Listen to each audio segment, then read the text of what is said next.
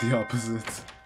May I help you? Yes, 1950s, Doctor. Me and my friends are looking for. You're friends with a Negro and a cripple? This man is insane. Take him away.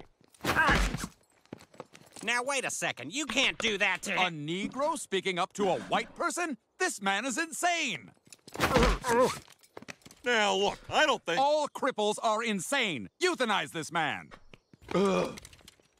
Something I can help you with? Yeah, you got any brain dead women in there you let people have sex with for a few bucks? Sure, come on back.